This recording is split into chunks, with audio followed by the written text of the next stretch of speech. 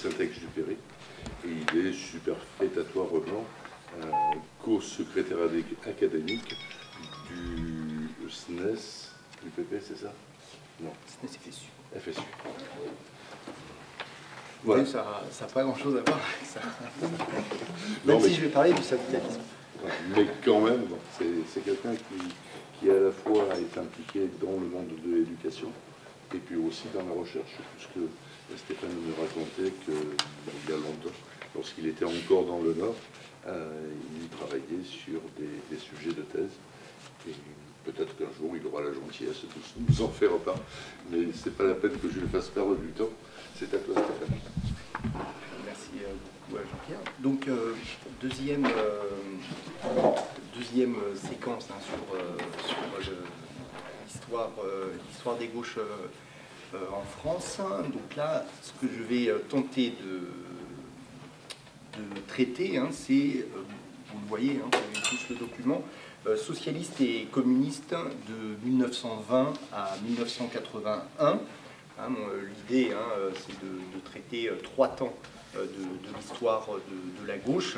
Là, ce temps central sur, sur le XXe siècle, où il y a euh, véritablement hein, euh, deux, courants hein, qui ont euh, dominé la, les gauches en France. Donc parler du, socialisme et du, communisme en France, c'est tout d'abord hein, parler de, la rupture de, la gauche socialiste et ouvrière qui a été unie au début du XXe siècle et avec le congrès de Tours de décembre 1920, vous le savez sans doute, il y a la rupture euh, du Parti socialiste français hein, en, deux. Les 180 000 adhérents de, l'époque euh, vont créer hein, deux, sections. La majorité, euh, majorité révolutionnaire crée la SFIC-PCF, hein, la section française de l'international communiste, c'est la, majorité, et les minoritaires vont rester dans la section française euh, de l'internationale ouvrière, de la SFIO. Et donc là, à partir de, décembre 1920, hein, ce sera euh, la, confrontation, hein. alors souvent euh, l'alliance, souvent la, discussion, mais tout de même la confrontation entre les deux, les deux tendances, un peu comme cela s'est passé durant la, euh, en Russie, hein, avec l'histoire de la social-démocratie russe, hein, avec les majoritaires, les, les bolcheviks, hein, et les, euh, les, minoritaires, les mencheviks. quand on regarde euh, à l'échelle française, on est un peu dans, cette, position. En France, le basculement a été, a été très soudain, car le, le, socialisme français, et le socialisme français unifié de début du XXe siècle, hein, avec Jean Jaurès, hein, j'en avais euh, euh, parlé, euh, était plutôt sur, le, sur la tendance réformiste. Et du reste, au congrès de Strasbourg, congrès hein, du Parti socialiste SFIO de, Strasbourg de février 1920, il n'y avait pas eu l'adhésion à la troisième internationale. la SFIO avait quitté la seconde internationale, qui était euh, donc, euh, qui était euh, compromise, hein, vous savez, avec l'Union sacrée, qui avait été compromise aussi avec la répression en Allemagne hein, des, révolutionnaires spartakistes. mais hein, cette tendance de masse à rejoindre le communisme se fait en décembre 1900. Et là, un clivage durable s'instaure.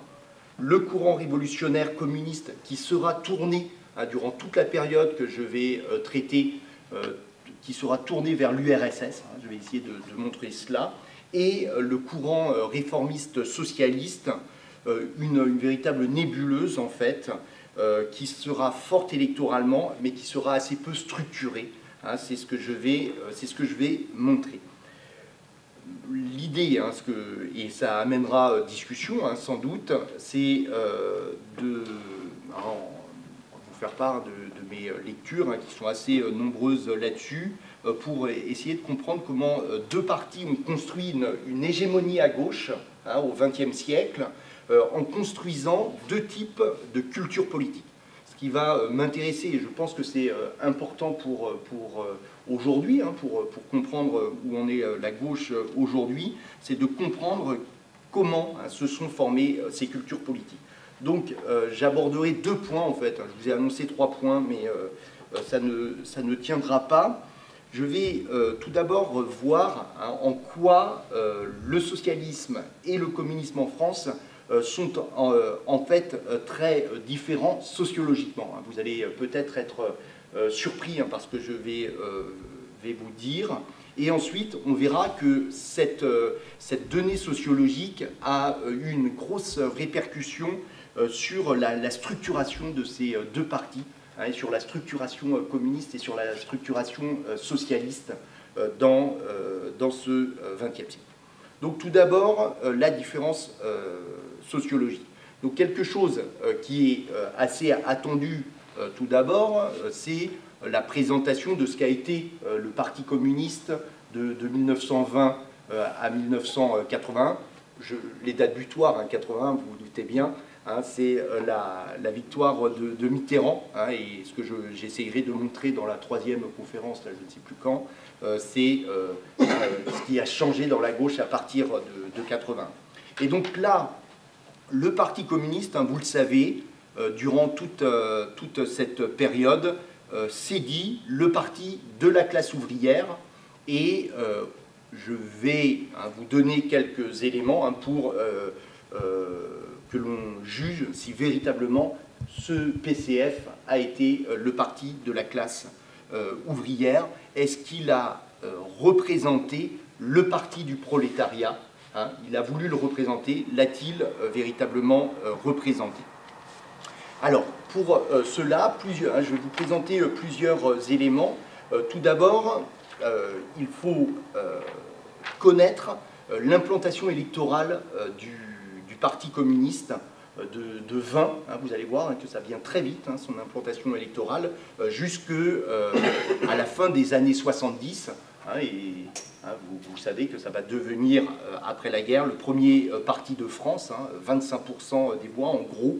mais on va, je vais essayer de vous montrer les deux temps de son implantation, de son implantation électorale il y a un premier temps qui est, euh, donc, hein, dès la création, dès 1920 euh, jusqu'en 1958, hein, jusqu'à la, création de la Ve République, euh, il y a une montée en puissance progressive du, du, Parti communiste.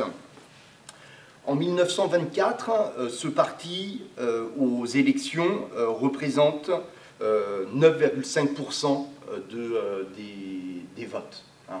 Euh, des, suffrages exprimés. À cette époque-là, on vote beaucoup.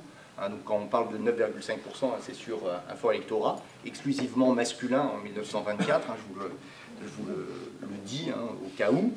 Et là, il y a une montée qui est euh, inexorable, je dirais. En 1936, lors des élections législatives de 1936, qui va amener le Front populaire, le PC est déjà à 15,2%. Vous voyez, Hein, on est euh, sur, euh, sur cet étiage-là. Et il y a une grande rupture euh, très favorable au Parti communiste. C'était à partir de 1945. Là, ça devient le parti hégémonique à gauche hein, et, de très loin. Le premier parti de France de 1945 à 1958. les scores du PC sur tous les types d'élections euh, seront euh, de l'ordre de, euh, de 25%. D'accord? Un quart de l'électorat en France voté, voté communiste. Hein, et là, je parle hein, en France. Et donc, il y a eu la, création hein, de, bastions extrêmement forts, des bastions qui arrivent dès les années 1920. en 24, les, où on a pas mal de, données, en, en 24, euh, le Parti communiste fait déjà plus de 20% dans quatre départements, les départements de la région parisienne déjà, hein, Seine et Seine-et-Oise, et euh, des, départements euh, plus ruraux, le Cher et le, Lot-et-Garonne. Donc dès les années 1920, dès les années 1930, deux types d'implantation se dessinent. une implantation ouvrière, hein, euh, une implantation très forte dans le nord et le Pas-de-Calais, hein, une, implantation hein, due à l'industrie minière et l'industrie textile, et une implantation extrêmement forte aussi en région parisienne. Un tiers des voix communistes viennent de la région parisienne. Mais aussi, le Parti communiste, dès les années 20, s'implante en milieu rural. Hein, ça, c'est une particularité très forte du, communisme français. Il y a deux euh, bastions, euh, deux zones euh, rurales hein, où le, Parti communiste est très tôt implanté. C'est dans, les bordures du Massif central, bordure nord et bordure ouest, le Cher, l'Allier, la Corrèze, la Dordogne, le, Lot-et-Garonne. Hein, ça, c'est une première grosse implantation. Et deuxième implantation forte et plutôt rurale dans le midi méditerranéen, avec le Gard, les Bouches-du-Rhône et le Vaucluse. À partir de 1946, il y a une, a une généralisation hein, du vote hein, dans, toute la France, mais avec un, un renforcement des, gros bastions, des gros bastions communistes dans le nord, en région parisienne, dans le centre, hein, tout ce qui est cher, etc., et dans le sud-est méditerranéen et, euh, et, rhodanien. Et il va y avoir une stabilisation euh, de, ces, de ces bastions hein, qui euh, durera jusque, jusque dans les années 70. Hein, dans les années 70, il y a un léger déclin à partir de, 1968, mais un déclin tout relatif hein, par rapport à ce que l'on connaît aujourd'hui. En 1973, euh, le Parti communiste, c'est encore 21% euh, euh, des, suffrages exprimés. En 1978, hein, vous savez, hein, ces fameuses élections où on a pensé hein, que le programme commun allait permettre une, victoire large, ce qui n'a pas été le cas. Le PC est toujours à 21%, à 21% et il y a de grandes zones d'implantation, outre ces grands centres ouvriers, euh, le sud-ouest, le centre, le midi viticole, etc. Donc vous voyez, le Parti communiste est le grand parti euh, de la classe ouvrière, euh, certes, mais aussi le parti hein, des, petites, des petites gens. Et selon de nombreux historiens, et notamment quelqu'un qui, est, très important pour, comprendre la, la, classe ouvrière, Gérard Noiriel, euh, selon euh, Noiriel, hein, je vous le cite, euh, l'émergence de, la, classe ouvrière industrielle a eu une, identité sur la scène politique grâce au PCF et à la CGT. C'était une classe ouvrière sans tradition et c'est une, classe ouvrière en fait hein, qui est montée euh, grâce euh, à ces, à ces partis. Et le PC est le parti hein, véritablement qui a été le, bénéficiaire de la mutation industrielle euh, qui commence en France dans les années 1930 et qui, qui prend toute son expansion hein, durant les Trente Glorieuses, vous savez, durant les années, disons, 1945, disons un peu plus tardif, et jusque la fin des années 1960-70. Là, euh, avec euh, ces Trente Glorieuses, euh, il y a des, régions hein, qui, deviennent, qui ont véritablement une, identité communiste hein, et elles sont bien plus larges. Toutes les régions qui, sont, qui ont de l'industrie lourde, les régions qui sont mono-industrielles et aussi les régions où il y a une, euh, une main-d'œuvre immigrée euh, qui, euh, qui, est très présente, une main-d'œuvre immigrée qui, en seconde génération, va obtenir la, la, nationalité. Là, le Parti communiste sera très fort. Hein, ça, c'est quelque chose qui est, important à dire. Le Parti communiste a été le parti dans, cette période-là qui a permis l'intégration euh, des, populations les plus exploitées, et notamment l'intégration euh, euh, de, la main-d'œuvre immigrée. Gérard Noiriel, hein, dont, que je vous citais, a fait une thèse exceptionnel hein, sur Longwy. Hein, je ne sais pas si vous connaissez, Longwy en, Lorraine, très longtemps ville, communiste. Et il montre dans, sa thèse que le PC connaît une très forte croissance électorale, hein, une véritable envolée électorale, quand la main-d'œuvre euh, ouvrière, notamment italienne, euh, accède à la nationalité française. Et donc, comme ils ont permis d'encadrer euh, ces, populations-là et de les protéger, quand ils arrivent à la nationalité, le PC devient, devient hégémonique.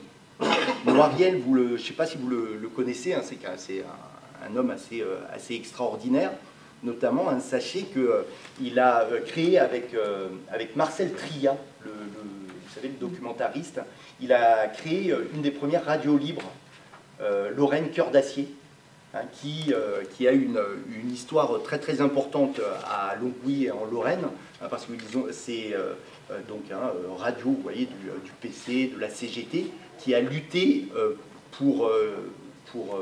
contre le déclin industriel euh, de, Lorraine hein, euh, dès, les années 80. Hein, c'est quelqu'un de, très intéressant.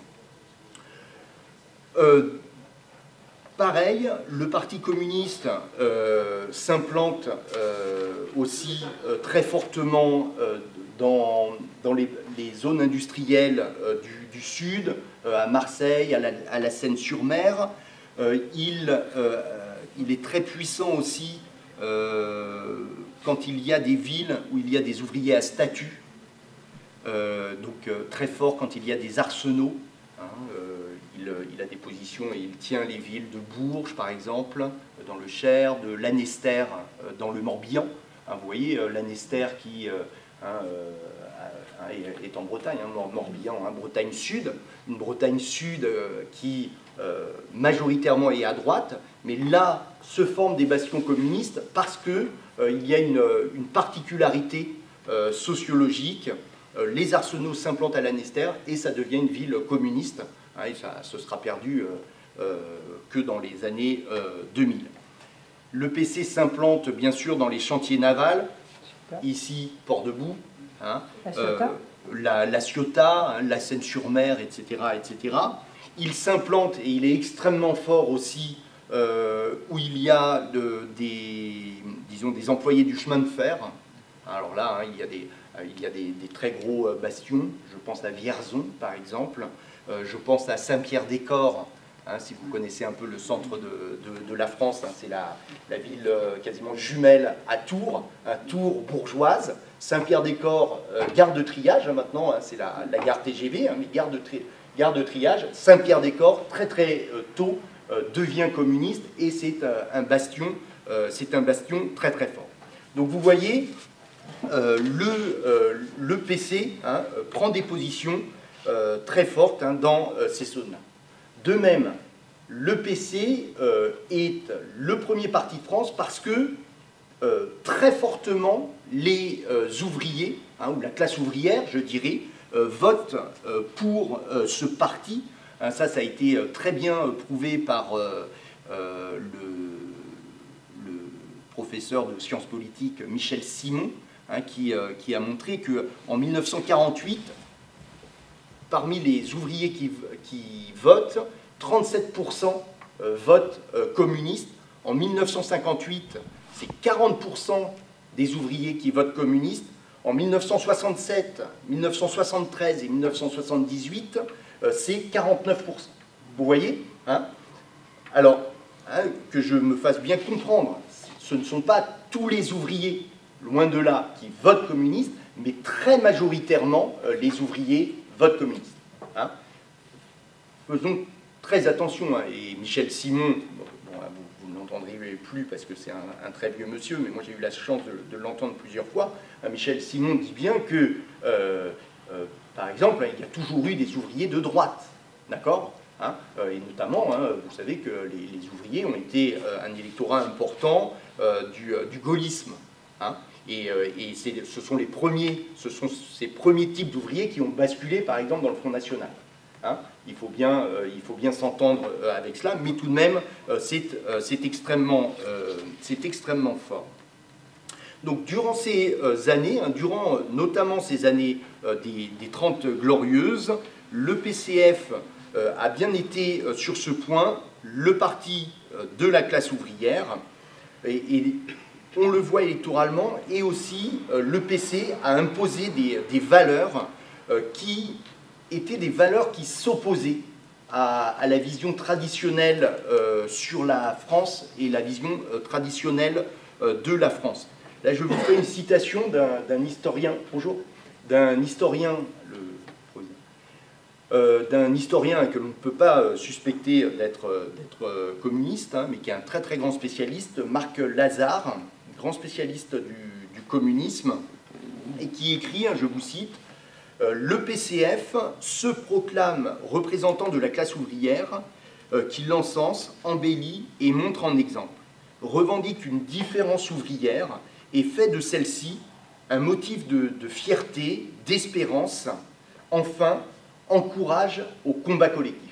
Hein, et je pense que c'est euh, bien ça, le communisme à cette époque-là, hein, et on peut comprendre cette implantation communiste, même si, hein, je vous montrerai hein, que ça a été un, parti euh, euh, quasi militaire, un parti très stalinien, etc. Hein. Euh, c'est un parti qui a véritablement porté la fierté de la classe ouvrière, hein, c'est vraiment l'élément qui permet de comprendre cette, vraiment cette proximité avec le monde ouvrier.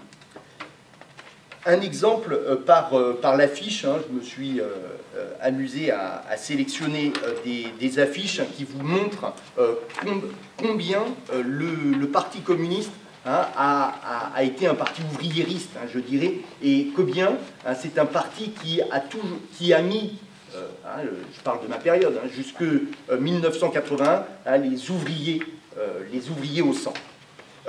alors donc, je vous ai, vous voyez, hein, dans mon dossier, là, hein, les, premières, euh, les premières affiches hein, sont des affiches communistes. Euh, je vais m'arrêter euh, sur des, illustrations, des illustrations de Fougeron. Vous connaissez peut-être Fougeron, ce, peintre du, du, réalisme socialiste, un peintre assez extraordinaire. Si, vous avez eu la chance de, voir des, toiles de Fougeron, c'est très très intéressant. Et alors, Fougeron donc, hein, est bien sûr, euh, bien sûr communiste. Fougeron euh, donc, hein, est, un, quelqu'un du, Pas-de-Calais. Hein. D'ailleurs, euh, moi je suis allé assez souvent dans la fédération du, Pas-de-Calais à Lens. Fougeron a, donné des toiles, des, des, œuvres d'art à, la fédération du, du, PC. Et quand vous allez rencontrer le secrétaire de la Fédé ou quoi, eh bien, vous, êtes dans un bureau, quand vous faites une réunion, vous êtes dans un bureau et vous avez des fougerons derrière vous, hein, c'est très étonnant. Et là, regardez, hein, c'est une affiche très caractéristique du Pas-de-Calais, une affiche des années, euh, des années 50. Et là, vous avez euh, deux, deux, axes euh, du, communisme. L'axe hein, du discours qui est porté, un discours de lutte de classe, très, très fort et je dirais presque très euh, manichéen, d'accord hein, Avec, vous voyez, euh, des exploiteurs, le patronat, vous voyez, les banquiers, les riches, hein, eux, hein, je dirais, qui écrasent euh, la classe ouvrière, mais cette classe ouvrière, menacée pourtant par l'armée, par, par les patrons, cette classe ouvrière est debout avec le drapeau rouge, vous, vous, verrez, bien sûr, le drapeau rouge, là c'est le mineur, qui lutte et la victoire viendra, la victoire par le communiste. Hein, et ça, c'est euh, extrêmement, euh, extrêmement fort. De même, et euh, ça c'est pour être un peu dans, l'actualité, hein, vous savez qu'on a énormément attaqué le, PC des, années 70, hein, fait de, ce président là, François, François Hollande, qui a parlé de propos hein, du, Front National qui seraient euh, des tracts euh, du PC des années 70. Et là, euh, donc, je vous présente deux, deux, affiches. donc, hein, vous voyez, une affiche de, des années 70, hein, sans doute, de, sans doute de, 73 ou 78, et l'affiche électorale présentant, présentant le, le, candidat communiste Georges Marchais en 1981. Et vous voyez, effectivement, il y a un, discours très, hein, très patriotique, hein, très, très, très attaché à la France, un discours qui, en même temps, est basé hein, sur la, fierté, la fierté de la classe ouvrière, la fierté hein, des, ouvriers français. Hein, vous voyez, soutenir le Parti communiste, c'est soutenir euh, la classe ouvrière, le peuple, la nation. Hein, vous voyez, c'est euh, extrêmement fort. Et quand il y a euh, une affiche avec, avec Georges Marchais, en arrière-plan, en arrière-plan, là vous n'êtes plus au travail, ça se voit par votre, votre habit. Alors, vous avez en arrière-plan euh, hein, l'ouvrier, hein, l'ouvrier caractéristique, hein, euh, là, euh, sans doute, sans doute un, mineur avec son casque de, mineur qui, est, descendu au fond. Vous voyez, durant, ces, durant ces années, vraiment, il y a une très forte, une très forte, une très forte identité. Là, je vous ai présenté des affiches, j'aurais pu vous présenter aussi euh, des films hein, qui montrent comment on construit hein, cette, euh, cette, cette, fierté ouvrière. Hein. je pense notamment, peut-être que vous l'avez vu, à la bataille du rail. la bataille du rail, film de, René Clément qui, sort, qui sort en 1946. Et là, cette bataille du rail est, véritablement une, ode à, l'identité communiste. Euh, qu'est-ce que, l'histoire de, la bataille du rail? Ce sont des résistants cheminots qui euh, vont euh, saboter hein, des, lignes de, chemin de fer hein, pour, mettre à, mal les, Allemands. Et donc là, vous avez les deux piliers de, l'identité communiste. La première identité, le Parti communiste, parti des résistants, parti des fusillés, hein, vous le savez, et deuxième pilier, euh, l'ouvrier euh, cheminot, hein, et c'est l'ouvrier qui est euh, le résistant. Hein. je parle de ça, alors hein, je pense que vous avez beaucoup de culture politique, mais si l'on parle de ça à des, gens qui n'ont pas de culture politique et qui n'entendent que le, discours actuel, on, est, on est à, à 100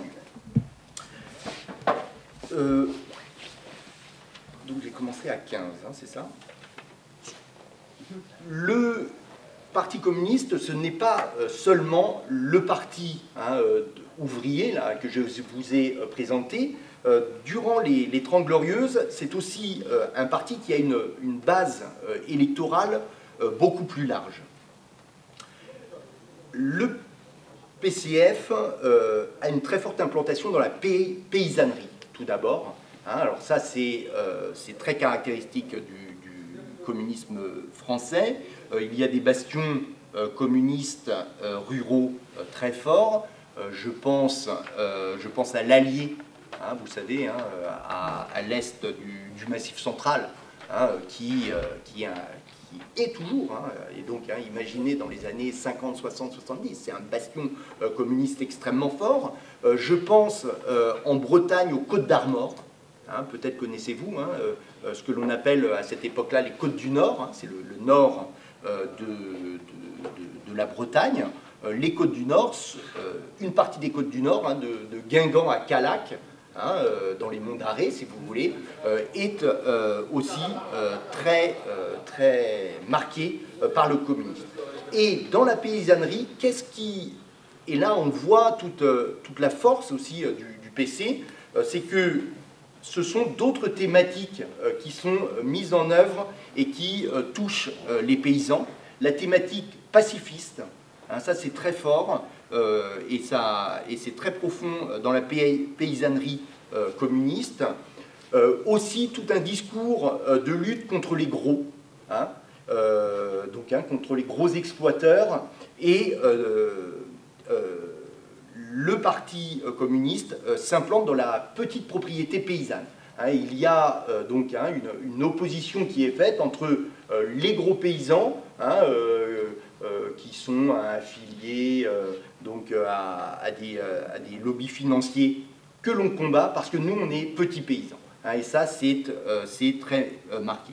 Le PC coordonne aussi des structures syndicales. Il y a deux syndicats paysans très proches du, du Parti communiste, le MODEF, Mouvement de la défense des exploitants familiaux, et le CGPT, la Confédération générale des paysans travailleurs. Hein, vous voyez, c'est tout un ensemble hein, qui euh, permet de structurer hein, ce, monde paysan euh, communiste. Il y a aussi un organe euh, de presse, la Terre, qui existe toujours, vous, vous, connaissez peut-être. Et dans les années 50 et 60, la Terre est dirigée par Valdec Rochet. Valdec Rochet qui deviendra, alors qui, Valdec Rochet c'est étonnant, donc il s'occupe de, la paysannerie au départ, Ensuite, il va euh, s'occuper des intellectuels. Hein, euh, euh, et, après, il devient, à la mort de, Maurice Thorez, il devient secrétaire général du, PC, hein, avant de, tomber malade. Deuxième, troisième base électorale, hein, après les ouvriers et les paysans, il y a aussi une, très forte accroche des enseignants et des intellectuels à cette, euh, époque-là.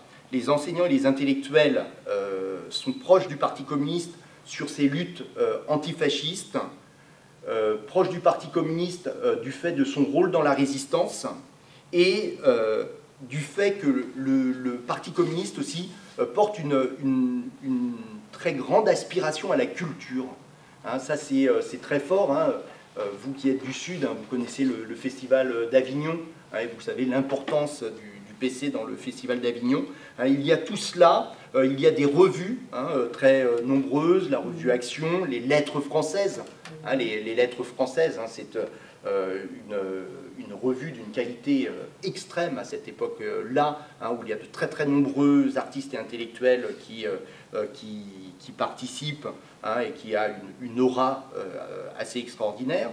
De nombreux intellectuels et artistes aussi sont soit membres du parti, euh, soit euh, sont euh, des compagnons de route. Alors, hein, je citerai en, premier, bien sûr, Joliot-Curie. Hein, on est au lycée Joliot-Curie, hein, mais comme autre scientifique, il y a Langevin. comme artiste, vous connaissez tous Aragon, Éluard, Picasso, etc. Le PC aussi agit très fortement dans la mouvance syndicale enseignante. Hein, dans, euh, la, Fédération de l'éducation nationale, hein, vous savez, qui est, euh, autonome euh, de, la CGT, mais dans la FEN, hein, et notamment au syndicat des instituteurs, au SNI, SNI, au SNI-FEN, il y a une tendance qui est la tendance communiste, qui est minoritaire à cette époque-là, mais qui a une forte influence, c'est Unité et Action. Unité et Action donc, a une très grande influence chez les instituteurs une influence encore plus importante chez les enseignants euh, du second degré, hein, euh, au SNES, hein, justement, euh, SNEP et SNES. Et le SNES hein, va basculer justement unité et action, et ça va être, le, je dirais presque, le bras, bras armé du communisme dans le monde, dans le monde enseignant. Euh, voilà, hein, j'aurais pu aussi parler euh, euh, de, l'importance et de l'encadrement des femmes, de l'importance aussi de, l'encadrement des, mouvements juifs. Hein, vous voyez, le Parti communiste hein, a des bases extrêmement, extrêmement. C'est très différent avec le, socialisme, avec le, Parti socialiste. Alors le Parti socialiste, Hein, euh, euh, euh, c'est un terme générique, hein, mais vous savez qu'il ne s'appelle pas Parti socialiste. Hein, donc de 1920 à, 1969, c'est la section française de l'internationale ouvrière. et quand on est socialiste, on peut être à la SFIO, mais on peut être aussi dans des, petits partis, par exemple Mitterrand, etc. je vais, je vais l'expliquer, ne sont pas à la SFIO. et donc à partir de 69, et, cela jusqu'à aujourd'hui, il y a le, euh, parti, euh, le parti socialiste. Et là, ce parti est un parti d'élus avant tout, hein, et un parti d'électeurs, mais beaucoup moins un parti de militants. Hein. C'est ce que je vais essayer de, de, montrer. C'est beaucoup plus difficile hein, d'analyser la mouvance socialiste que la, mouvance, la, mouvance communiste, parce qu'il y a une très grande hétérogénéité hein, dans, le, socialisme. Je vous ai parlé, je vous ai parlé des, des noms, mais aussi quand on s'attache au parcours des dirigeants socialistes, euh, on voit que les grands dirigeants socialistes, souvent, hein, dans ma période, 1920-1980, hein, euh, beaucoup de dirigeants euh, ont connu plusieurs formations politiques. Hein. Et vous voyez, ils sont socialistes, mais ils vont, ils vont un peu, pas à droite à gauche, je dirais, ils vont à gauche, sauf pour certains, mais ils ont dans plusieurs types de formations, ils ne sont pas attachés comme, peuvent comme peuvent être attachés les communistes au Parti communiste. Cinq exemples. Jules Gued, hein, dont j'avais beaucoup euh, parlé. Jules Gued, hein, qui est euh, hein, euh, c'est celui qui introduit la pensée marxiste en France à la fin du 19e siècle et au début du, 20e siècle. Eh bien, Jules Gued crée le Parti ouvrier français, mais après 1920, il se retrouve à la SFIO, par exemple. Hein, vous voyez, et c'est euh, pourtant hein, un des piliers du marxisme en France. Deuxième exemple, Marcel Déa. Hein, ça doit vous parler, Marcel, euh, Marcel Déa. Marcel Déa, donc euh, D-E-A-T, Déa est député SFIO. il est député de 1926 à 28 et de 1932 à 1936. Mais euh, ça va être le chef de file euh, des néo-socialistes, hein, avec la rupture euh, de, 1933, hein, une rupture, hein, je dirais, de l'aile droite du Parti socialiste qui va se nommer, donc, qui va se nommer qui vont se nommer les néo-socialistes, avec des A qui vont quitter la, SFIO et qui s'opposent à l'aile gauche du, parti. Hein, euh, notamment euh, mené euh, par, par Marceau Pivert. Donc DA quitte la SFIO, crée le nouveau parti socialiste, ce nouveau parti socialiste qui va dériver, ou disons des, des dirigeants principaux vont dériver, dériver excusez-moi, vers le fascisme et vers la collaboration. Et vous savez que Marcel Déa, en 1941, crée le Parti national populaire, Parti national populaire, euh, qui est un des principaux euh, partis euh, collaborationnistes durant la guerre. Vous voyez, hein, ce sont ces parcours hein, de socialistes hein, très étonnants. Plus classique, vous connaissez le parcours de François Mitterrand. François Mitterrand n'a jamais été un dirigeant de la SFIO. François Mitterrand, après la guerre, parce qu'avant il n'est pas de, gauche, après la guerre, rejoint ce qu'on appellerait un micro-parti aujourd'hui, il rejoint l'UDSR, l'Union démocratique et socialiste de la résistance, d'accord hein, euh, Donc après, hein, vous savez, hein, ça va devenir un classique de, la quatrième République. Il, euh, il, a beaucoup de, Marocains euh, ministériels, notamment en 1956, il est ministre de l'intérieur. Hein, et c'est lui qui, euh, euh, qui notamment hein, va, exécuter des, résistants, des résistants algériens. c'est lui hein, qui,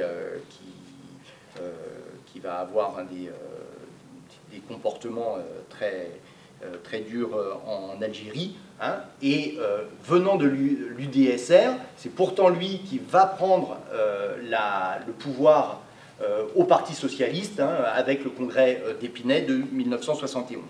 Jacques Delors, autre personnage très intéressant, et hein, on voit l'hétérogénéité euh, du, socialisme, de, Delors, lui, vient du christianisme, hein, de, des, mouvements chrétiens, d'accord? Des mouvements chrétiens, c'est un haut fonctionnaire, un haut intellectuel, chrétien, qui entre dans le socialisme à partir du syndicalisme, à partir de la CFD voyez Dernier exemple, hein, euh, Jospin, hein, très important dans les années 70, euh, hein, Jospin, dans les années 80 aussi, mais Jospin vient d'où? Lui, Jospin vient du trotskisme, et euh, Jospin est un militant lambertiste, vous savez, une, des, une des tendances du, trotskisme, j'en parlerai je parlais du trotskisme hein, dans ma troisième conférence, hein, ce lambertisme qui, qui, théorise notamment l'entrisme.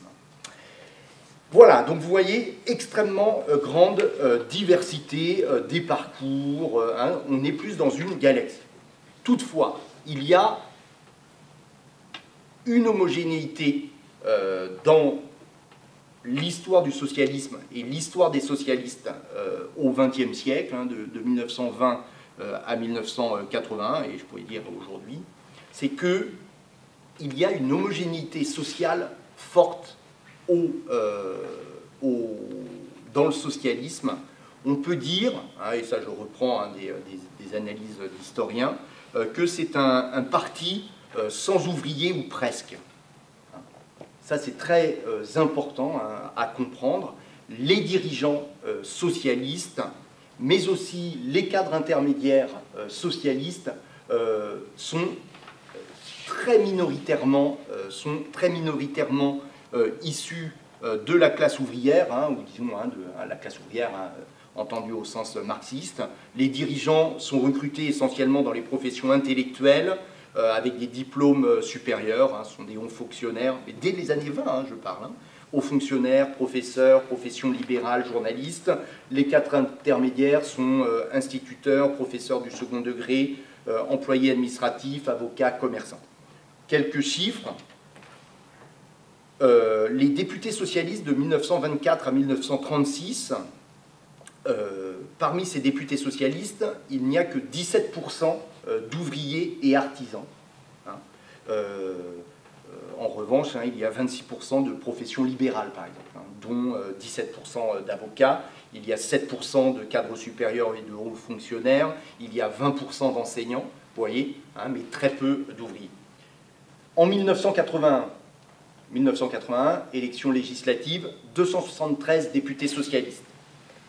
3,6% de ces euh, députés socialistes sont ouvriers ou employés, 3,6%. Hein, 71% euh, font partie des catégories euh, professionnelles supérieures, 8% d'industriels, c'est étonnant, deux fois plus que, d'ouvriers, 10% de professions libérales, 6% de professions intellectuelles, 17% de fonctionnaires de catégorie A, 13% euh, euh, d'enseignants du supérieur, 17% euh, d'enseignants du secondaire. Vous voyez, hein, on est dans un parti, hein, je dirais, plutôt de la classe moyenne. Hein. mais la différence avec la droite, même si ces députés, ces dirigeants socialistes ne sont pas de la classe ouvrière, ils ont des origines populaires. ça, c'est la, grande différence beaucoup euh, d'entre eux, hein, y compris euh, hein, ceux qui vont euh, devenir ministres dans les années 80, etc., hein, ont des origines populaires. C'est ce qui les différencie, je dirais, sociologiquement d'avec les, dirigeants de la droite. En ce qui concerne les militants, il n'y a jamais énormément de militants à la SFIO et dans les partis socialistes.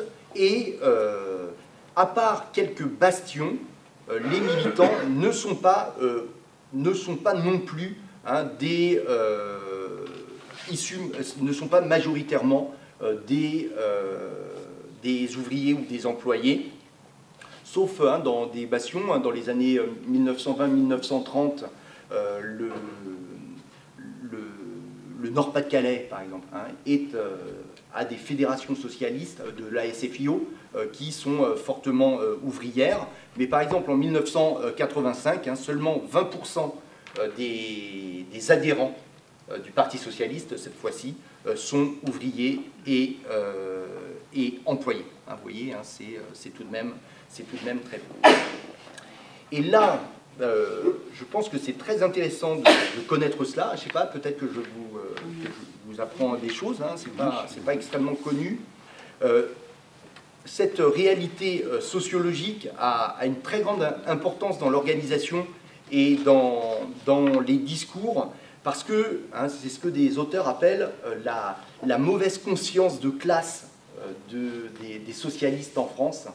C'est qu'il il, va y avoir, il y a un hiatus très fort dans le socialisme français entre la réalité sociale de ce qu'est le, de ce qu'est les socialistes, la défense des, intérêts de, leur classe, hein, de la classe des, adhérents, et les discours que portent les, socialistes de 1920 à, 1900, à 1980.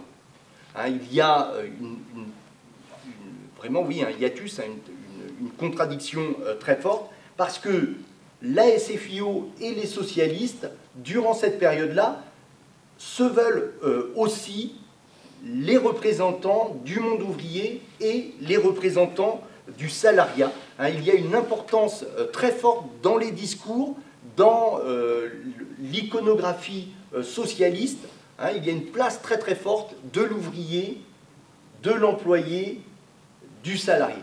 Hein, ça, c'est euh, euh, très important. Hein, euh, il y a une contradiction, mais c'est très important. Regardez les, images que, je vous, ai photocopiées.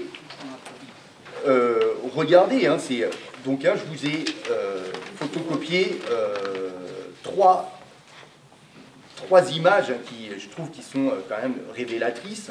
Une, image de 1946 de la SFIO, vous voyez, hein, euh, vous la verrez, elle est très belle euh, en, couleur. Donc, élection législative en 1946, et là vous voyez, voter socialiste, voter SFIO, et qui, hein, qui est représenté, qui est la figure tutélaire, de la gauche, c'est le mineur. D'accord? Hein, C'est très net à imaginer aujourd'hui une affiche, euh, une affiche comme euh, celle-ci. Euh, de même, de même, regardez, ah, regardez une affiche, je me suis trompé dans une affiche législative de 1936. Ah, j'ai mis 74, je me suis trompé, c'est l'autre hein, qui est de 74. une affiche de 1936. Vous voyez, hein, les, propos sont, sont, très clairs la misère dans l'abondance, ouvriers, employés, fonctionnaires, petits euh, commerçants. Euh, euh, vous êtes atteints par le chômage, les vieux travailleurs hein, sont, accablés par, par la pauvreté. C'est le capitalisme qui fausse tous les rouages du mécanisme social. Quand l'abondance est possible, il organise la, la misère. Travailleurs, le capitalisme est la cause profonde de ta misère vient lutter avec nous pour le renforcement par tous les moyens du capitalisme inhumain, pour la révolution socialiste, je vote SFIO. Vous voyez, hein, euh, nous sommes dans des discours hein, qui sont euh, des discours hein, de classe, très, euh, très fortement. Et dernière image, donc là, c'est là, j'ai fait un, copier-coller, excusez-moi. Dernière image, image de la campagne présidentielle de 1974, euh, hein, euh, première campagne de Mitterrand socialiste, hein, si je puis dire, parce qu'en 65, hein, il n'est pas à la SFIO. Regardez, avec François Mitterrand, un peuple plus fraternel, mais quel est le visage qui apparaît au premier plan? C'est le visage de l'ouvrier. Donc vous voyez, le Parti socialiste met en valeur hein, la, euh, euh, la, disons, hein, la, euh, le, travail, met en valeur les ouvriers, les employés. Et ça, hein, ça se retrouve dans le programme de François Mitterrand de 1981. vous, certains doivent le, connaître. vous savez, 110 propositions pour, pour la France. Hein, un texte extrêmement important. Je vous en ai mis euh, quelques extraits. Un texte d'une incroyable avancée, hein, incroyable. Hein. Euh, voilà, je vous ai mis, euh, je vous ai mis les quatre chapitres. Une France ouverte sur le monde, l'emploi, la croissance sociale pour la maîtrise de l'économie, la liberté, la France. Et regardez, je vous ai surligné quelques éléments. Proposition 21, le secteur public sera élargi par la nationalisation des neuf secteurs industriels prévus dans le programme commun. Hein, euh, hein, on a nationalisé l'énergie, on a nationalisé les banques, etc. Euh, pardon? La santé. La santé, hein, vous voyez. Euh, bon. Proposition 28, les prix des produits pour lesquels la concurrence ne joue manifestement pas seront contrôlés. Un contrôle des prix, mais vous imaginez, mais ça donnerait une apoplexie à Manuel Valls. Hein, le temps ne pas lui montrer ça. Hein. Euh, voilà, 53, euh, abrogation de la peine de mort, vous le savez. Et là, je suis sensible 90 aussi, à des plus beaux euh, projets d'émancipation humaine. Un grand service public unifié et laïque de l'éducation nationale sera constitué. Hein. sa mise en place sera négociée sans, spoliation ni monopole. Et là, vous voyez, c'est vraiment l'incarnation de, de, ce qu'a été le socialisme Hein, une véritable croyance dans un, changer la vie, n'est-ce pas? Mais pas dans une version révolutionnaire euh, communiste. Hein, vous voyez là, par exemple, hein, je vous rappelle euh, que la grande bataille pour un service euh, public de l'éducation était sans spoliation et avec une acceptation de l'enseignement confessionnel. Voilà, etc., etc. Donc il, me reste un quart d'heure, euh, Jean-Pierre Oui hein Donc. Si tout le monde en est d'accord. Vous en êtes d'accord Encore un quart d'heure je, vais profiter pour aller vous chercher un bouquin que j'ai dans, la voiture à propos de l'abondance. Alors, euh, je terminerai hein, par un, second point sur la structuration euh, du communisme et du socialisme euh, qui, euh, qui est euh, très importante et qui est là aussi extrêmement différente hein, et qui est fondamentale pour comprendre hein, les, deux cultures politiques qu'il y a en France hein, ou qu'il y avait en France, communiste et socialiste. Tout d'abord, le Parti communiste, le Parti communiste est un parti euh, qui euh, s'est organisé sur le principe de la centralisation. Hein, sur le principe de la, de la centralisation avec euh, une organisation très structurée hein, et, même militaire, hein, c'est très important, et aussi il y a eu une entreprise d'homogénéisation du corps partisan, la volonté de créer un homme communiste, je dirais. Cette euh, centralisation euh, euh, du, parti a une racine, hein, et ça c'est absolument fondamental, je vous ai aussi photocopié cela.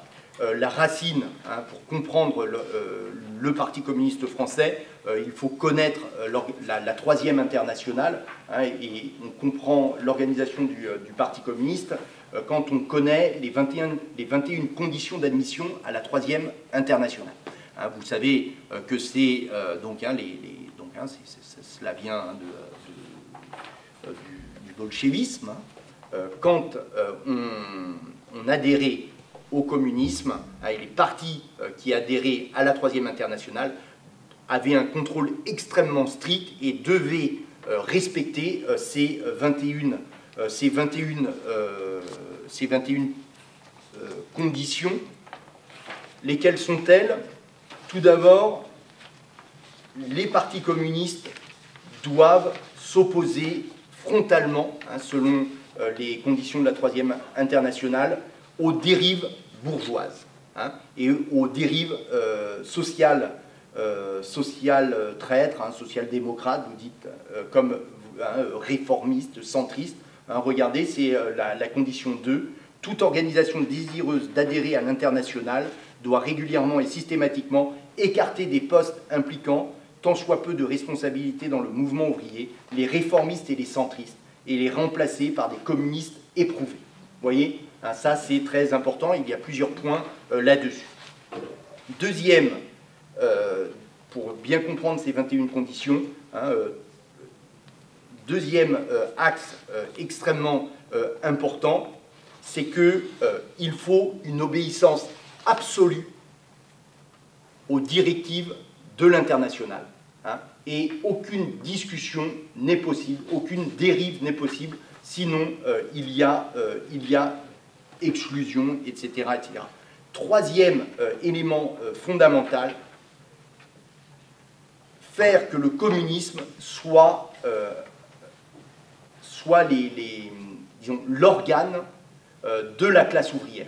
Et il y a notamment hein, la, condition 13 hein, qui est très importante, il y a l'idée en fait hein, de régénérer sans cesse les structures euh, du parti hein, ou les structures des, euh, syndicats. Par exemple, il faut que les syndicats soient des courroies de transmission. c'est pour ça que la CGT va être une courroie de, transmission.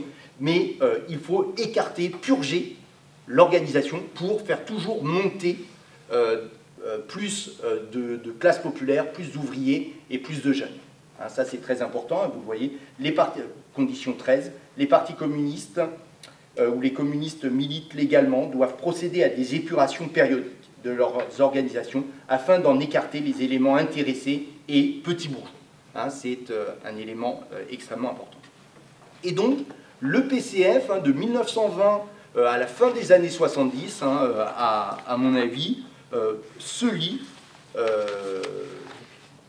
sur se lit en, sachant qu'ils ont respecté à la lettre les ordres euh, du euh, Comintern, hein, de la troisième internationale, hein, qui se transformera en Cominform en 1947. Hein, et toutes les stratégies du Parti communiste de 1920 à 1981 euh, sont des stratégies dictées par l'international.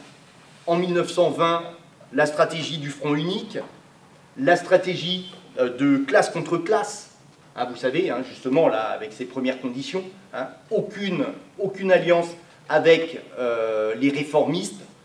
Ça fait que, par exemple, la CGT éclate en deux, et les communistes, avec les anarchistes, euh, vont créer la CGTU, la, CGT, euh, la Confédération Générale du Travail Unifiée les luttes euh, anticoloniales et anti-impérialistes, hein, très très, euh, très très fort. Hein, le, communisme a lutté euh, contre, contre la, colonisation, contre l'exploitation coloniale. Hein.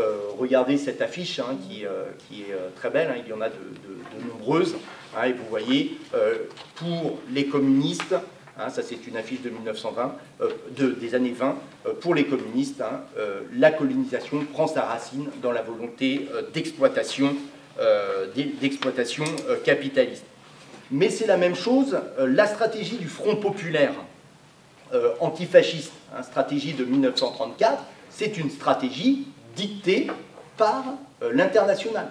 et, notamment en France, c'est Eugène Fried qui dicte aux dirigeants du Parti communiste le, changement de stratégie, un changement brutal. On passe de classe contre classe à euh, front populaire, et ça, ça vient, euh, de Moscou. De même, euh, adhésion totale au pacte germano-soviétique, 1939, il y a une adhésion totale, ça ne se discute pas. Si on le discute, on est écarté des, au moins des instances dirigeantes et on peut être hein, exclu du parti. Euh, l'entrée en résistance du Parti communiste 1941, même, euh, même chose, c'est euh, une orientation internationale. La guerre froide en 1947, c'est la même chose. Le programme commun en 1974, c'est la même chose. Ce sont des directives, ce sont des directives de l'international communiste. Et donc on peut dire hein, que cette centralisation du parti euh, est euh, le reflet, en fait, euh, d'un parti qui a été, hein, durant 1920 au moins jusque 1960, véritablement un parti stalinien. Hein, on peut le dire, hein, peut-être que vous me discuterez, un véritable parti stalinien, et je n'ai pas pu m'empêcher de vous présenter la une de l'humanité quand le grand Staline meurt en 1900. Euh, en 1953. Aussi, et c'est autre chose, vous voyez, euh, il y a cela et il y a aussi euh, cette, ce travail absolument considérable d'homogénéiser le corps partisan, de créer véritablement un, homme communiste qui se différenciera de, hein, du, citoyen lambda Hein, euh, créer un homme nouveau taillé dans une étoffe à part. Euh, citation de, euh, de, Staline. Et donc, cela, ça passe par une ouvriérisation des instances dirigeantes, hein, au comité central du Parti communiste, hein, instance la plus haute. en 1920, il n'y a que 18% d'ouvriers. En 1936, ils sont 52%. Vous voyez rajeunissement aussi des instances. En 1920, les dirigeants ont 40 ans de moyenne d'âge. Euh, en 1925, ils ont 34 ans. Vous voyez? Et euh, cette volonté, hein, ce, véritable ouvriérisme, euh, passe euh, par un travail absolument considérable euh, pour promouvoir un encadrement spécifique, pour promouvoir en fait hein, des ouvriers hein, qui prendront la place des bourgeois, parce que les ouvriers doivent prendre le pouvoir. Et donc il y a toute une batterie qui est mise en place d'encadrement, de, systèmes de formation et notamment le Parti communiste, euh, à la différence des, socialistes, euh, met en place des écoles du parti extrêmement importantes, hein, pour les dirigeants, école de 4 mois, et ensuite école de Moscou, où là, il y a une ambition absolument extraordinaire. on lit véritablement les, les, œuvres. Alors, il y a de très grands intellectuels hein, qui, qui, écrivent pour les écoles du parti. Hein. Par exemple, je pense à Georges Politzer, je pense et à tous ces intellectuels, euh, donc un très très important sur le contenu, une pédagogie extrêmement nouvelle et une ambition euh, absolument, euh, absolument extraordinaire. Et dans le même temps, on demande à tous les communistes d'être corps et âme pour le parti et on demande d'être, je dirais presque, parfait, hein, de devenir l'homme communiste sans reproche. Hein. et donc, euh, il y a hein, des, moments de sacralisation, on sacralise l'adhésion, euh, la remise du timbre, euh, il y a la, nécessité, je dirais, hein, de la fraternité entre camarades. vous savez, quand vous êtes de, culture communiste, vous parlez de, camarades. il y a la nécessité d'avoir un comportement de vrai communiste dans le travail, bien travailler, dans la famille être hétérosexuel, avoir des enfants, etc.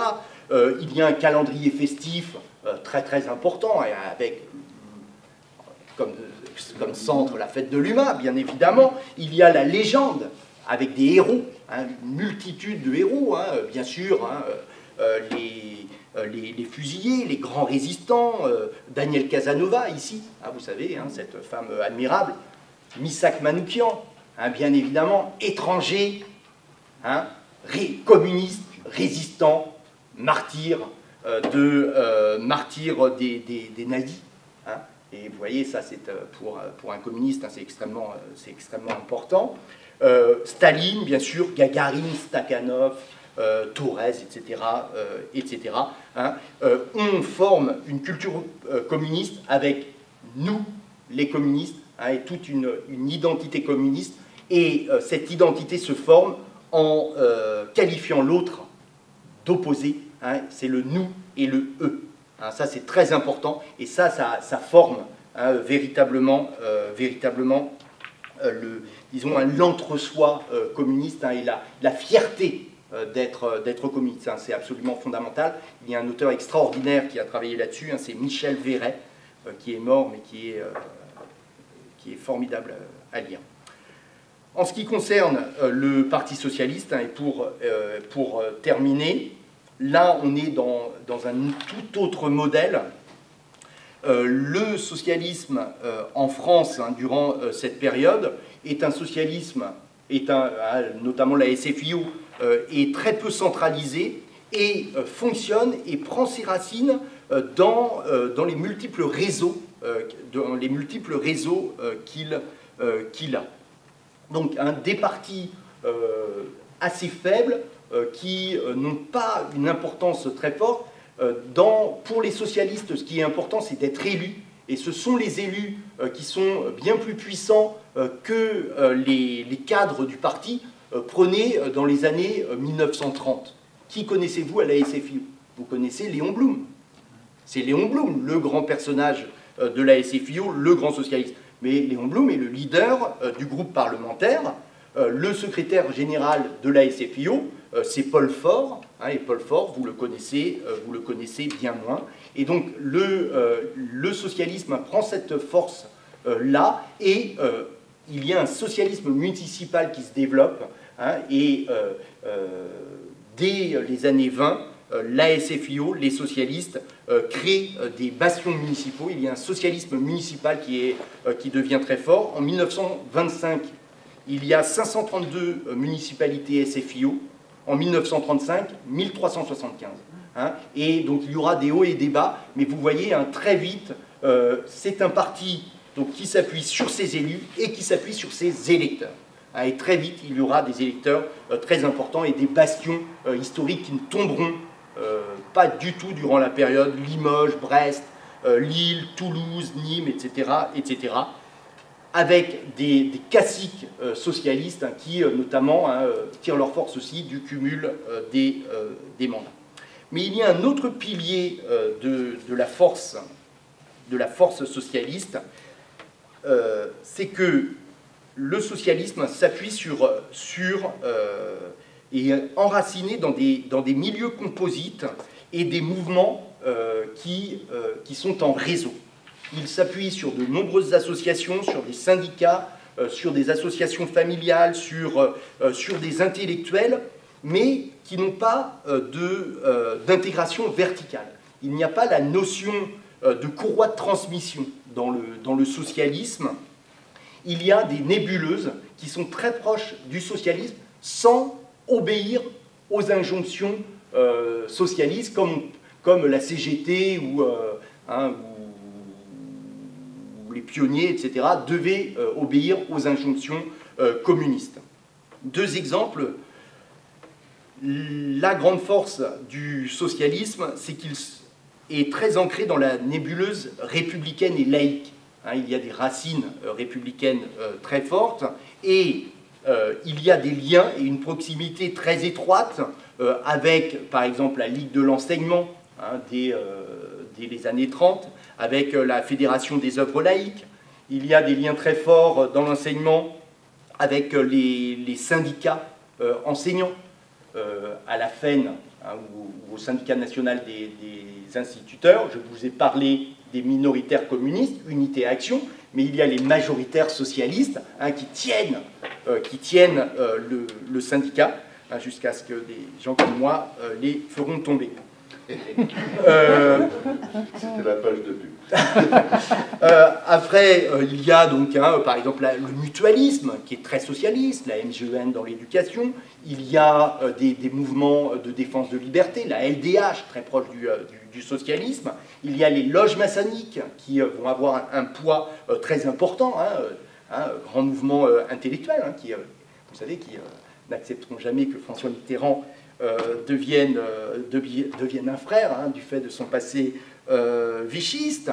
il y a le protestantisme, etc. Et à partir des années 60, autre très grande force qui va, dont, qui va se rapprocher de plus en plus du Parti socialiste, euh, c'est euh, la grève chrétienne, hein, je dirais. Hein.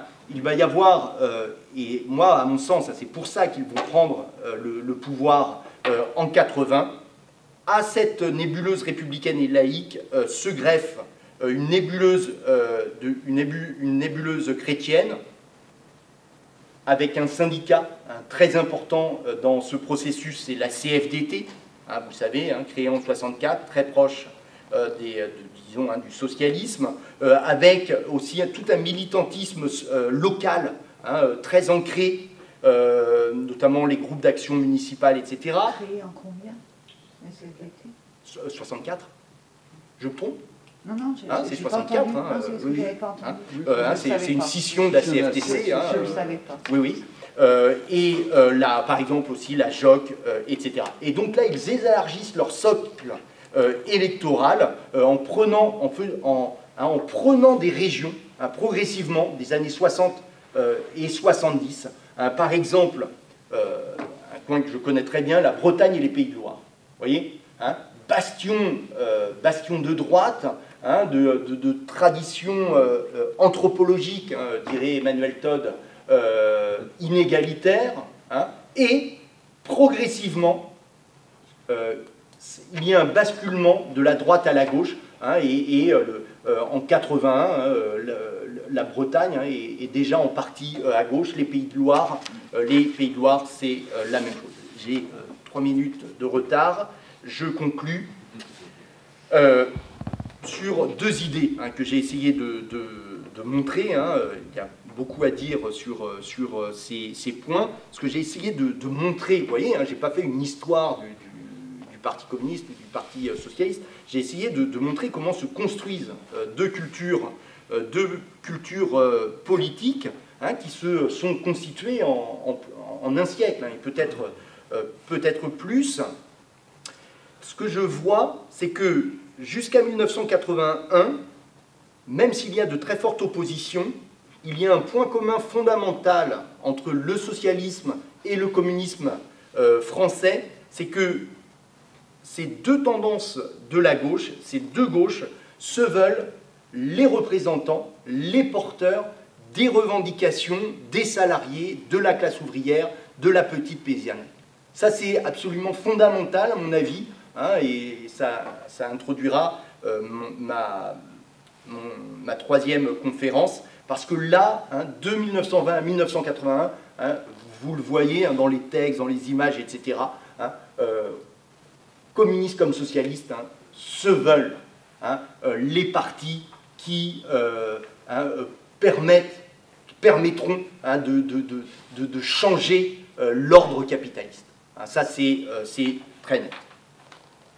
Alors que, et deuxième point que je, voulais marquer, et là c'est vraiment, vous le discuterez, parce que c'est mon avis, alors que les communistes euh, ont été le, grand euh, parti, hein, le Parti communiste a été le grand parti euh, des Trente Glorieuses. Hein. le parti de la classe ouvrière, c'est le Parti socialiste et c'est les socialistes beaucoup plus hétérogènes, beaucoup plus malléables dans leur discours, beaucoup plus englobants, hein, englobant l'ensemble du salariat. Ce sont les socialistes qui parviendront au pouvoir euh, en 1980, hein, après hein, une traversée du désert euh, absolument euh, immense. Et à mon sens, ils parviennent au pouvoir en 1980 parce que cette hétérogénéité, ce, ce, côté malléable, a permis d'agréger la majorité du salariat. Ouvriers, salariés, classe moyenne, nouveaux types d'emplois ont été agrégés dans le discours euh, socialistes, alors que les communistes, qui sont restés hein, sur une, position hein, de lutte des classes hein, euh, très euh, importante et une position ouvriériste très importante, eux seront mis en difficulté.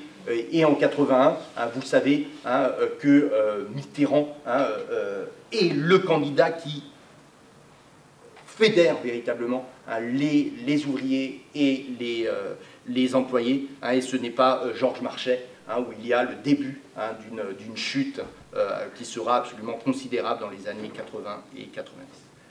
Voilà, excusez-moi, j'ai été un peu long. Merci Stéphane. Maintenant, c'est à vous. Une petite. Euh, juste une, euh, quand vous dites pour le Parti Socialiste, c'est un parti sans ouvriers, presque, ça, ouais. ça d'accord. Il y a quand même juste euh, une anecdote, c'est Pierre Grégoire, premier ministre, qui était ouvrier. Oui, c'est le seul qui... Tout à fait. Mais euh, ça a été une de ses faiblesses et une de ses euh, grandes fragilités, à mon, à mon sens. Ah Tout à fait. Mais euh, si, là, là, je n'en ai pas du tout parlé, hein, parce qu'il faudrait voir la composition euh, euh, sociologique des, ministres de 1980. Hein. Donc il y a hein, des, exceptions comme, comme celle-là, mais il y a, voilà, il y a deux, deux, ensembles extrêmement forts. Il y a donc toute cette tradition socialiste de, de, profession libérale, et, et, par exemple Mitterrand le, représente très bien. Hein, ce sont tous ces, euh, ces, avocats, tous ces juristes, hein, en fait. Il y a de très... Et donc, euh, euh, je, je, pense bien sûr à Dumas, Mitterrand et et à l'Inter, par exemple. Hein, donc, après, il y a des, des intellectuels hein, euh, très, très forts, hein, Auroux, par exemple. Euh, et euh, après, il y a le début des hauts fonctionnaires. Et euh, ce qui, alors il y a un film sub- un téléfilm sublime qui est passé sur Arte là-dessus. Euh, c'est le début de l'ascension, par exemple, de la promotion Voltaire. Hein et euh, Oui, oui. tous ces, tous ces, c'est très étonnant. hein, tous ces hauts fonctionnaires qui font l'ENA, par exemple, dans les années 70, vous voyez, hein, la promotion Voltaire, euh, ça doit être euh, la promotion 78 ou 79. Bah, disons de 77 à 79. hein, je, je n'ai plus euh, la tête euh, en tête cela, faudrait vérifier. Euh, eh bien, la promotion Voltaire euh, va, se, va se diviser en deux tiers, un tiers, parce qu'ils voient le vent venir, et les deux tiers vont devenir socialistes et vont, euh, vont occuper euh, tous les postes de conseillers euh, politiques. Je vous en cite que deux. hein. François Hollande, Ségolène Royal promotion Voltaire, hein, etc. etc. Hein, je pense que c'est quand même très net. Je dis, vous voyez, c'est une expression que j'ai re- j'ai reprise dans, dans, dans l'histoire des gauches, hein, sans ouvriers ou presque. Bien sûr, il y a des ouvriers, mais euh, je suis allé vite, quoi. Ça répond. Oui, oui,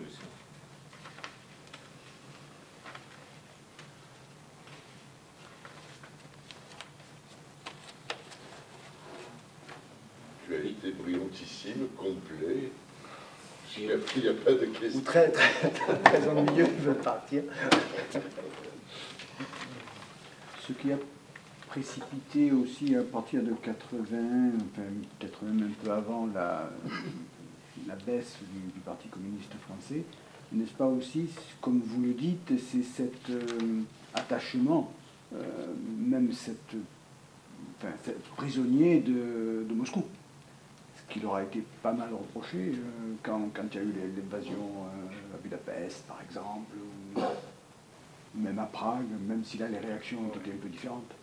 C'était quand même beaucoup plus ancien, Budapest. Oui, Mais, 56. euh, je trouve ça- 56. 56, Je mais non, ça- mais je ça leur a été reproché juste. quand même. Alors, Oui, ça, oui, vous oui, voyez, oui, ça n'a oui, pas du tout été euh, mon angle, hein, parce qu'il faut avoir un angle, hein, c'est- c'est c'est- c'est vraiment c'est très complexe hein, à, à travailler, mais je suis tout- si, avait, si j'avais fait de l'histoire politique, euh, je- je- je- j'aurais dit cela. Parce que, à mon avis, oui, euh, cette, euh, hein, ce- ce- ce- ce- ce- moi j'appelle ça du stalinisme, quoi, hein, c'est cette, euh, euh, le fait que le Parti communiste français ne se soit jamais détaché des, euh, des- des injonctions euh, de l'international, hein, ou de Moscou, hein, moi je parle en, en termes historiens, mais là, voilà, euh, a, a créé euh, des, euh, des- divorces continuels. hein. Et 56, par exemple, c'est le, début de la rupture avec les intellectuels. Hein, Là, j'ai dit, mais euh, à grands traits, hein, parce que dans les années 50, lisez, euh, euh, il y a plein d'intellectuels qui ont écrit des très belles choses. Je pense par exemple aux, spécialistes d'histoire romaine, aux latinistes qui, enseignaient à, Aix, qui a écrit euh, euh, comment, euh, comment on écrit l'histoire ou la sexualité dans l'Empire romain. ah, bon, bon, etc. etc. Il y a une, le Parti communiste dans les années 50 jusqu'en 56, c'est le parti où il faut être. Voyez Et 56, c'est le début de la rupture. Quoi. Et là, ils partent en masse. hein. Le roi Ladurie, etc. C'est là qu'il y a la rupture. hein. Annie Kriegel, je vous ai mis Annie Kriegel, grande, une des plus grandes spécialistes hein, du Parti communiste, une stalinienne absolument sans nom, sans nom, hein, sans nom. Vous ne pouvez même pas imaginer ce qui a été écrit à cette époque-là. Ben, Annie Kriegel rompt en 56 et ça devient euh, la, pire euh, des anticommunistes. Euh, Elle, euh, finit euh, sa vie donc euh, en faisant quoi? En faisant des éditos au Figaro. Hein ah oui hein Et donc il y a ça, après il y a Prague, euh, après il y a euh, l'Afghanistan, ça dépend des générations. Et euh, ce que je n'ai pas dit, et ce qui est, très intéressant aussi, par exemple dans, Bernard Pudal, etc., à lire, c'est que comme, vous voyez, être communiste, c'est donc hein, intellectuellement adhérer à cette, vision marxiste des choses, mais c'est aussi entrer dans, un, dans une culture, hein, dans une famille, dans une... Vous voyez, c'est euh, hein, entrer dans une fraternité, je dirais. Et quand il y a la rupture, c'est absolument terrible. C'est absolument terrible. Hein. Ça, c'est euh, très, très, c'est très, très marquant. Hein, c'est très, très marquant. Regardez Paul Nizan. Hein Paul Nizan. Combien il souffre euh, de, hein, de- de- des critiques qu'il euh, se voit affliger euh, quand, euh, quand, hein, pourtant il est tout à fait dans la ligne, hein, mais quand il, quand il même pas refuse, mais quand il ose, même pas critiquer, mais quand il ose émettre quel- quelques soupçons sur le pacte germano-soviétique. Et je ne vous parle pas des grands dirigeants aussi. Vous savez, parce qu'il y a beaucoup de communistes qui entrent en résistance dès 40. Dès 40, il y en a plein. Hein Euh, tiens, Kriegel Valrimont, donc qui est le père hein, d'Annie Kriegel, qui vient de mourir. Hein, immense, immense euh, résistant. Ils entrent avant 41, ils vont se faire massacrer ensuite en 46. hein. Gu- Guingouin, vous vous rendez compte, un Guingouin qui était Guingouin. hein, il a libéré tout le Limousin, un des plus grands résistants français. Guingouin, instituteur hein, euh, de, Limoges, hein, euh, euh, hein, qui, dirige le maquis de façon absolument extraordinaire, mais qui entre en résistance dès 40. En, en 46, le Parti communiste va, suivre des calomnies lancées par la droite collaborationniste pour, euh, le, euh, pour, euh, pour lui casser la tête. Quoi. Vous voyez? C'est étonnant. Vous parlez de l'importance du Parti communiste dans l'intégration des ouvriers. Oui. Euh, mais vous avez été très bref là-dessus. Oui. Ça se passait comment? Alors, ça c'est ça c'est très intéressant. Euh, alors, jusque, alors je, vous- je vous donnerai une référence aussi. Jusqu'au début des années 1970, le Parti communiste, euh, euh, en fait, euh, organise l'arrivée et aide les, ouvriers les ouvriers. D'accord? Ça se passe par le discours et ça se passe concrètement par l'intégration dans les structures syndicales communistes, hein, pour aller vite, hein, euh, mais euh, par exemple la CGT, d'accord. Et euh, les, euh, je sais pas moi, euh, vous voyez, mais aussi bien les, euh, les, tiens, les Belges euh, qui arrivent dans le textile euh, à Halluin, Roubaix, Tourcoing, eh bien, euh, donc le Parti communiste va euh, euh, organiser le, le logement, va, va organiser dans les années 30 les soupes communistes, vous voyez hein. Euh, Après les années 50, euh, va organiser le secours populaire, etc. Belges, Italiens, Polonais, euh, Africains, hein, euh, euh, notamment euh, Maghrébins, etc. Eh bien, euh, le Parti communiste ne vraiment euh, ne transige pas, il intègre les immigrés. Voyez, euh, après les années 40, euh, il va y avoir euh, les villes communistes. Je n'ai pas parlé des, des grandes villes communistes, hein, mais par exemple Halluin, hein, à la frontière belge, bastion communiste, la, région parisienne, etc., etc., Martigues, etc. Bon, tout cela, ils organisent, dans les années 40, euh, ils vont créer des, grands ensembles, du logement social, hein, il y a plein de villes, Ivry, euh, Bobigny, etc., il y a euh, 40, 50, 60, 70% de, logements publics, euh, sociaux, et là, on ne fait aucune distinction, on est ouvrier, on a le droit à un logement social. Hein, il y a tout euh, ce travail-là. Et il y a un auteur extrêmement intéressant qui est Olivier Masclet. Hein, Olivier Masclet, euh, M-A-S-C-L-E-T, euh, qui est un sociologue qui a écrit euh, la, euh, la, euh, La gauche et les cités. Euh, oui, La gauche et les cités. Et il montre le, rendez-vous manqué avec l'immigration euh, des années 70-80. voyez, il y a un basculement. alors que le Parti communiste, jusque les années 70, euh, vous voyez, ben, hop, on arrive, on n'a pas de, logement, voilà, euh, voilà. Il est là, il est tout le temps là.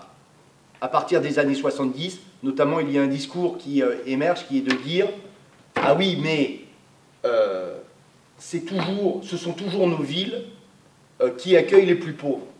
Et là, à un moment, il y a un trop-plein. Ça, c'est en 70 que ça apparaît. Un moment, lui, il étudie Gennevilliers. hein, Gennevilliers. Et là, il va y avoir un divorce, vous voyez, euh, progressif.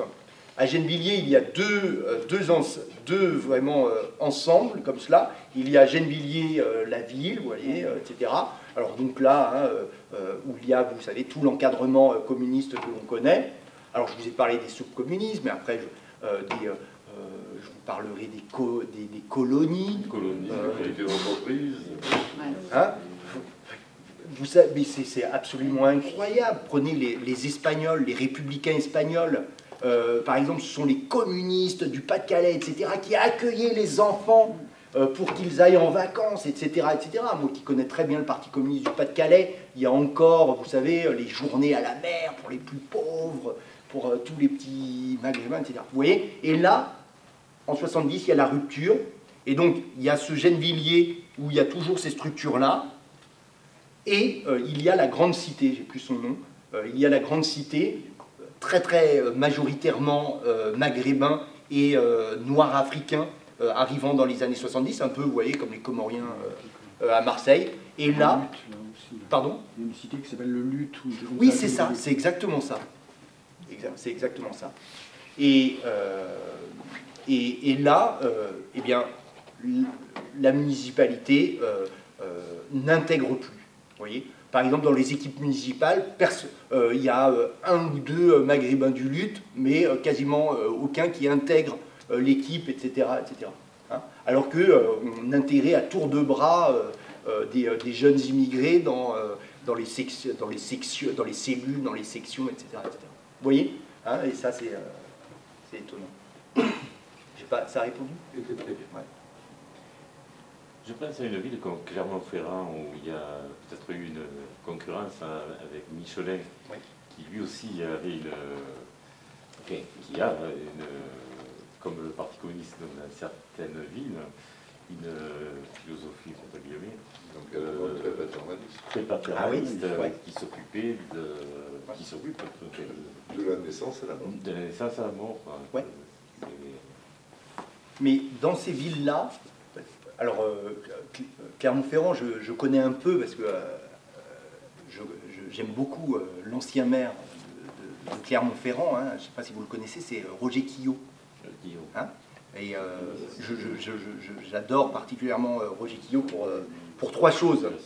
Parce que c'est un grand socialiste, euh, parce que c'est un, un des principaux euh, spécialistes de Camus euh, en France. Et c'est lui qui a édité la première, euh, la première version de la Pléiade. Euh, voilà. Et euh, troisièmement, euh, vous savez qu'il a, il a choisi sa mort. Hein. Voilà. Hum. Sa femme qui, euh, c'est absolument dramatique parce qu'ils se sont suicidés tous les deux euh, et euh, pour euh, sa, sa femme a survécu. Bon, et, euh, mais je connais mieux, beaucoup mieux le, le Pas-de-Calais qui est le, le- ce même type. Et là, vous avez une entreprise omniprésente, hein, euh, soit, Michelin, soit les houillères, euh, soit les houillères dans, le Pas-de-Calais ou dans le Nord. Et ce qui se passe, c'est que s'il n'y a pas de, tradition de lutte euh, très forte et que ce paternalisme marche, là, vous allez avoir des, villes qui vont, qui seront donc des villes très ouvrières, mais les ouvriers vont plutôt voter socialiste. Hein, il va y avoir un arrangement, si je puis dire, euh, entre donc, tout le caractère social de l'entreprise, hein, avec de très très grandes avancées, et euh, les représentants politiques qui vont être socialistes. hein. Alors, euh, à Clermont-Ferrand, vous savez que c'est un grand bastion socialiste. par exemple, dans le bassin minier, si vous connaissez Lens et Liévin, vous voyez, ça vous parle? Ben, Lens et Liévin, euh, ce sont de très grands bastions euh, socialistes. Et Nain-Beaumont, très grand bastion socialiste. Hein, c'est le, même, principe. Et là, ça va être socialiste. Quand il y a des luttes très fortes, voyez, et euh, notamment euh, quand il y a une tradition euh, de euh, hein, de la CGT euh, anarcho-syndicaliste, hein, dans, les, dans les années euh, 1900, disons euh, 1900-1910, là, vous risquez euh, d'obtenir euh, des villes communistes. Dans le bassin minier du, euh, Pas-de-Calais et du Nord-Pas-de-Calais, c'est très étonnant. Quand il y, a, il y avait deux syndicats des mineurs, hein, le, syndicat de, Loire, hein, c'est-à-dire le syndicat réformiste, d'accord Quand le syndicat de, Lo- de Loire, donc, hein, qui, est créé en, 1960 en 1864, euh, est omniprésent, ça va devenir des villes socialistes. hein, et notamment, vous savez, euh, à Liévin, le, pre- le premier maire socialiste, c'est Lamandin. Euh, à, Lens, c'est... euh, ah, bon, je l'ai plus en tête. Et quand, ce sont, quand les puits de mines sont tenus par la CGT, notamment par Brouchou dans, les années, dans les années 1900, eh bien là, ça va devenir des bastions, des, des bastions communistes. Vous voyez? Hein, et par exemple, dans le bassin minier, vous avez Lens très socialiste, Liévin très socialiste, Hénin-Beaumont très socialiste, et euh, Avion, Salomine, Méricourt communistes. Des bastions communistes incroyables. Vous voyez? Je pense que ça s'explique comme ça. Mais ce sont quasiment jamais des villes de droite, par contre. Peut-être dans, dans l'Est, mais je connais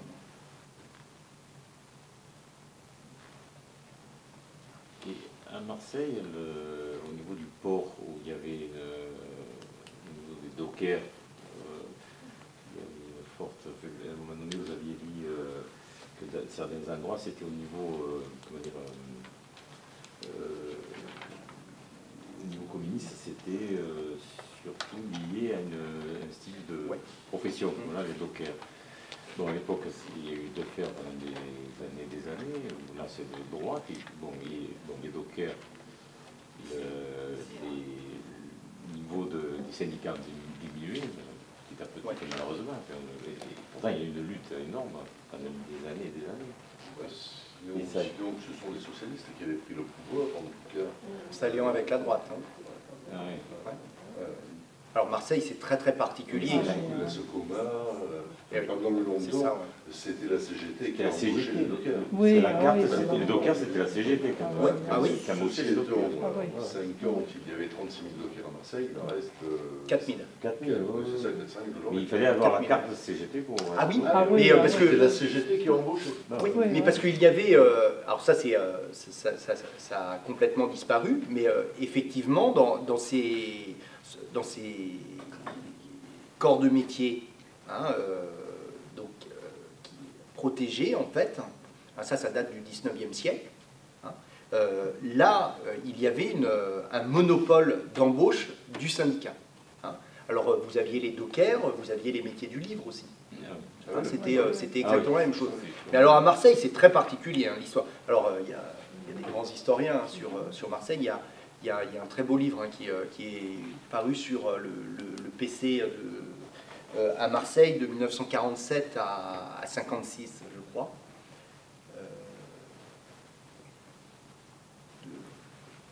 De, de Mancherini. La Mancherini, oui. Et, et là, c'est très particulier parce que Marseille, il, euh, politiquement, il va y avoir un clivage très très fort hein, jusque, euh, jusque les années 2000 en fait. Vous allez avoir les quartiers nord et notamment tous les quartiers euh, euh, touchés par, euh, par les dockers et touchés et où il y a une très forte implantation ouvrière, donc soit, docker- soit du port, euh, soit de, de l'agroalimentaire, qui va être très communiste, très CGT et très communiste, d'accord? Et vous allez avoir un- une autre partie de la ville euh, qui, euh, donc, de, de centre droit et euh, socialiste, hein, avec une alliance euh, socialiste centre droit pour faire tomber le Parti communiste. Hein, parce que qu'est-ce qui se passe Euh, donc tout ça, hein, ça se, parce que vous savez, je ne sais pas si vous savez, hein, mais en, donc dans les années 1930 euh, euh, à Marseille, hein, le, maire est, crypto-fasciste. hein. Et ensuite, il va y avoir deux résistances à Marseille. il va y avoir la résistance communiste, d'accord, hein, qui, hein, qui, aller, je sais pas, aller dans le troisième.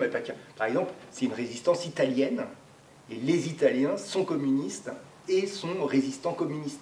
Hein, et par exemple, euh, ben, vous connaissez, euh, je sais pas moi, Place euh, Place Cadena, euh, à- dans le troisième.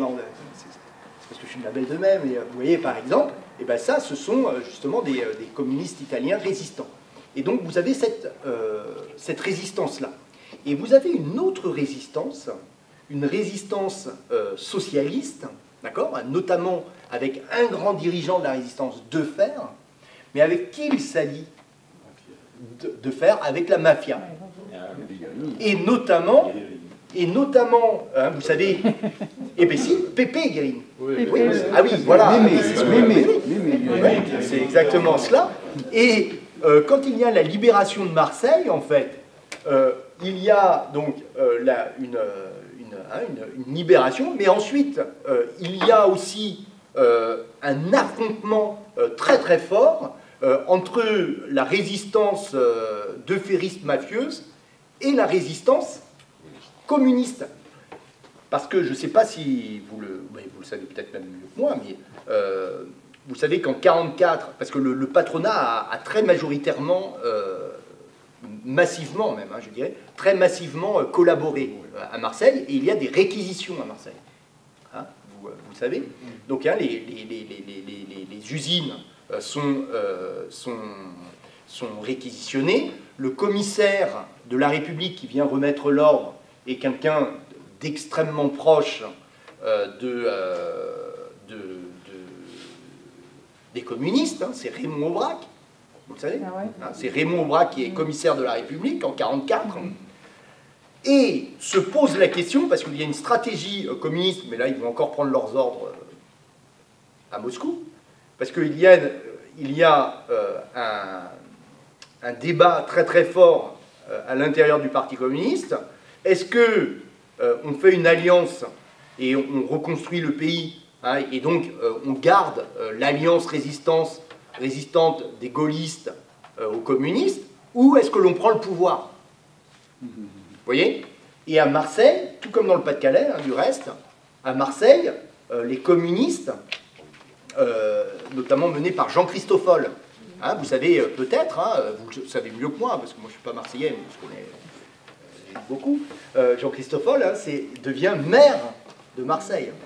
Et oui, très peu, parce que vous savez pourquoi hein, Parce que... euh, Une excellente BD qui, qui traite de Christophore, ni Dieu ni maître. Ah bon? Ouais, très très chouette. Ah c'est- alors là, je, vais noter. Et de, qui? Ni Dieu ni maître? Ouais. Ah ben je vais noter ça. Euh, et donc, euh, et là, euh, les, les résistants communistes euh, sont prêts à, à, à renverser en fait le, le pouvoir, euh, le pouvoir républicain.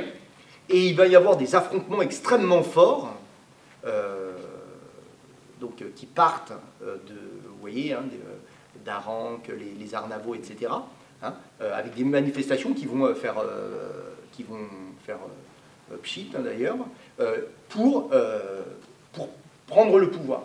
Et il y a des forces qui s'opposent à cela, c'est, la mafia hein, qui, qui restructure les- qui restructure en fait, euh, voyez, le- les pouvoirs. Hein, c'est étonnant. hein. Vous, vous connaissiez tout cela?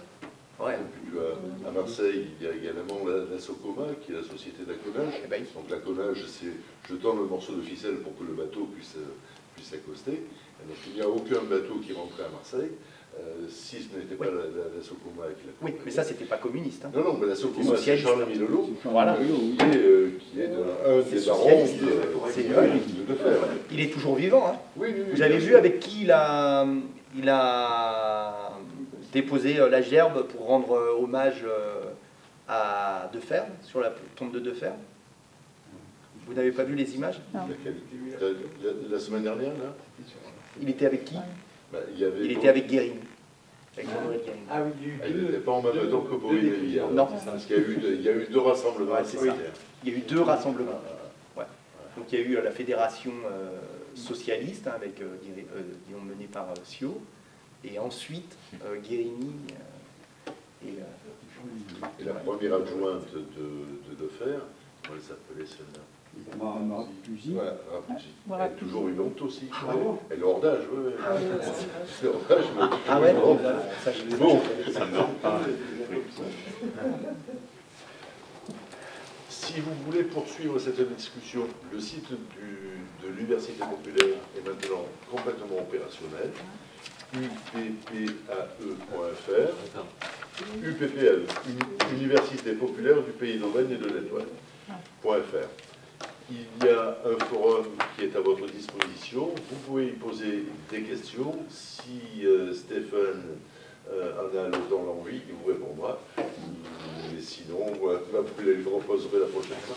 N'hésitez pas à poser des questions et à, à faire, à, à faire continuer cette, cette soirée si vous le souhaitez. On se retrouve mardi prochain pour l'Université populaire et également le 21 au Borsalino pour le repère où sera présent euh, Jean-Luc Groé qui est chef de service à l'hôpital d'Aix-en-Provence et qui viendra nous parler de l'état du système de santé en France. Hein. Je crois qu'on va passer une bonne soirée. Merci, Merci, à, merci à vous tous.